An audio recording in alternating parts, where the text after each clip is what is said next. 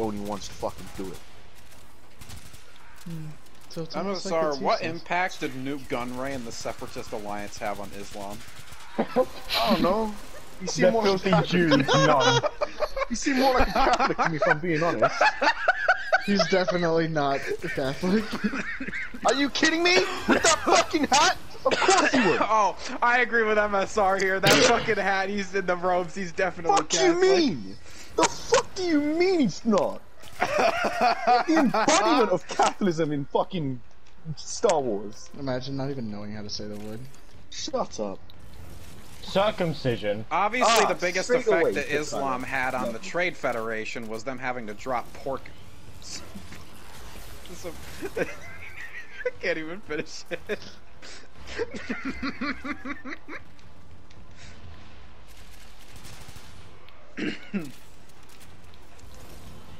Imagine there being a certain type of meat that your schizophrenic friend told you you're not allowed to eat anymore.